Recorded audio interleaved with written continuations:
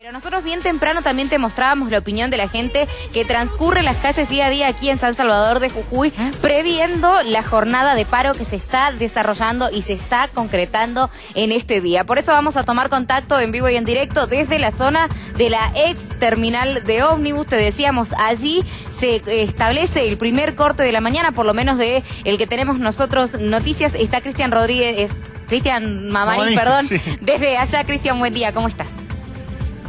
Buen día Dana, buen día Nico. Nosotros, como vos bien lo anticipabas, estamos en la zona de la vieja terminal, para ser más precisos, en calle Iguazú y Ayacucho, donde eh, los trabajadores de la UTA realizaron un corte desde ayer a las 10 de la noche. Están cortando esta arteria y ellos nos informaban que el corte es total, como ustedes pueden apreciar. No se puede pasar por la arteria, están acá cortando y también nos anticipaban que están haciendo distintas recorridas por las empresas de colectivo porque eh, quieren que la adhesión sea total. Los, ellos comentaban que algunos de sus compañeros eh, querían este, adherir a la modalidad, pero la empresa eh, les exigía en cierta parte que, asistan y bueno, esto es lo que están controlando ellos. Van a hacer el corte acá hasta horas 12, de ahí este, van a hacer un receso, retornarán de nuevo y seguirán hasta la eh, noche.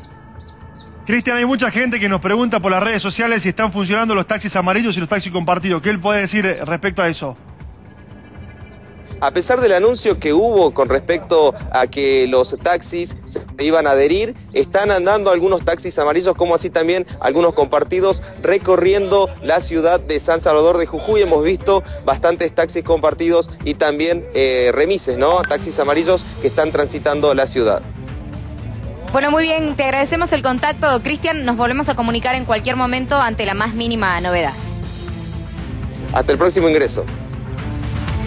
Así está el panorama a esta hora de la mañana, 7 de la mañana, 50 minutos, con un corte en la zona de la vieja terminal. Te lo decíamos desde muy temprano.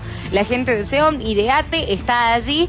De esta manera, haciendo la movilización, insistimos, Sí. sabíamos y estaba confirmado y ratificado de que los diferentes gremios iban a adherir a esta medida de fuerza Pero- convocada por la CGT en el orden nacional. Lo que no estaba previsto Claro. no son ni movilizaciones ni cortes, porque habían dicho que era sin asistencia a los lugares de trabajo, pero sin manifestación previa. Bueno, esto es lo que se está desarrollando a esta hora de la mañana. Vamos a ver qué es lo que pasa más Y adelante. te lo decía nuestro móvil en la calle, están funcionando algunos remises, algunos taxis amarillos y algunos compartidos también, así que por ahí la gente que nos preguntaba eh, cómo movilizarse en el día de hoy, algunos taxis compartidos y algunos taxis amarillos de radio llamada están funcionando en este paro general que se está realizando en el día de hoy. Tenemos mucha más información para compartir con ustedes. Hasta las 9 de la mañana estamos en vivo por la pantalla de Canal 7 de Jujuy. Momento de hacer la pausa. Ya venimos.